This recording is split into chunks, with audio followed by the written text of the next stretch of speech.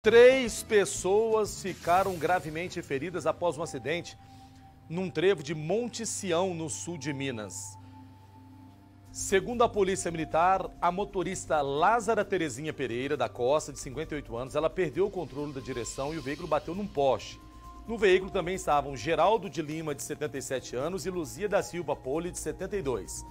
As vítimas foram socorridas e levadas para o pronto-socorro de Monte Sião, e depois encaminhadas para a Santa Casa de Ouro Fino.